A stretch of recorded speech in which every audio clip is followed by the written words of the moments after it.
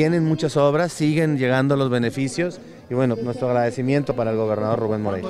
En el programa de, mil obras para Ramos Arispe, eh, pues, eh, nos dicen que superan los 7, 8 millones de pesos porque son varias aulas eh, y son varias reparaciones y varias remodelaciones. Nada más, por ejemplo, el viernes tenemos la entrega o el inicio de dos escuelas, una primaria y, un jardín de niños que han sido solicitadas desde hace mucho tiempo en parajes de, Los Pinos. También se entregan celdas solares en Nuevo Yucatán, se van a entregar celdas solares en Coloradas y en el tema de electrificación, también en estos días arrancan la electrificación de San Francisco de los Montes, el Barrial y la Virgen.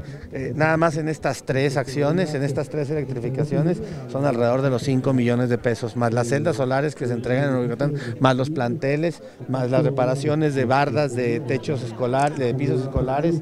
Eh, la verdad es que estamos muy agradecidos, que se van a, se van a reparar prácticamente todos los paneles de todas las familias, porque son ejidos que están dentro de lo que es la cruzada contra el hambre. Con la cámara de Gerardo López para RCG informó Eduardo Sarabia.